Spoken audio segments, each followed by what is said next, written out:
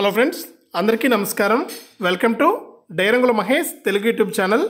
మన ఏపీ రాష్ట్ర వ్యాప్తంగా ఉన్న రైతుల ఖాతాలకి డబుల్ ధమాకానే చెప్పుకోవచ్చు.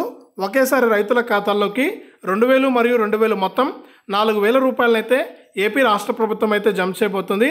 ఇక ఈ డబ్బులు ఎందుకు జమ చేస్తున్నారు ఏంటి అనే వివరాలన్నీ కూడా నేను వీడియోలోకి అయితే వెళ్ళి మీకు అందరికీ కూడా తెలియజేస్తాను.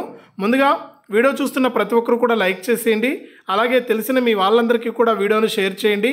ఇంకా ఎవరైనా మన ఛానల్ను సబ్స్క్రైబ్ చేసుకోకుండా చూస్తూ ఉంటే వెంటనే వీడియో కింద సబ్స్క్రైబ్ అనే బటన్ ఉంది. సబ్స్క్రైబ్ చేసుకోండి. సబ్స్క్రైబ్ అయిన వెంటనే గంట వస్తుంది. ఈ గంట పైన నొక్కినట్లయితేనే మీరు ప్రతి వీడియోను కూడా మీరు మిస్ అవ్వకుండా తెలుసుకుంటారు. ఇక లేట్ చేయకుండా మనం వివరాల్లోకి అయితే వెళ్ళిపోదాం. మన ఏపీ రాష్ట్ర వ్యాప్తంగా ఉన్న రైతుల ఖాతాల్లోకి మన ఏపీ రాష్ట్ర ప్రభుత్వం ఇప్పటికే రైతు భరోసా మరియు పంట నష్టపరిహారం డబ్బులను అయితే విడుదల చేసింది. ఇక ఈ డబ్బులు అయితే ఇప్పటికీ మనకు రైతుల ఖాతాలోకి అయితే జమ అయ్యాయన్నమాట.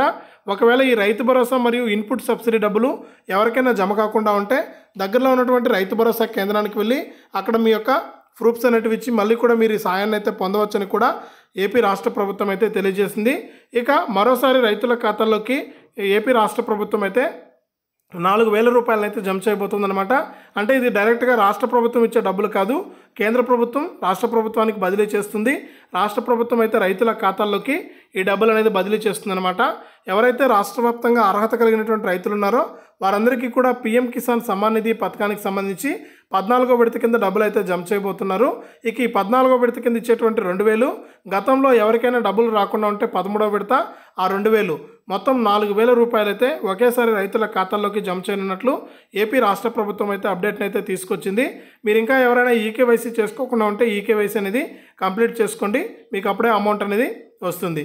ఇది రైతులకు సంబంధించి వచ్చిన అప్డేటు. వీడియోను లైక్ చేయండి షేర్ చేయండి.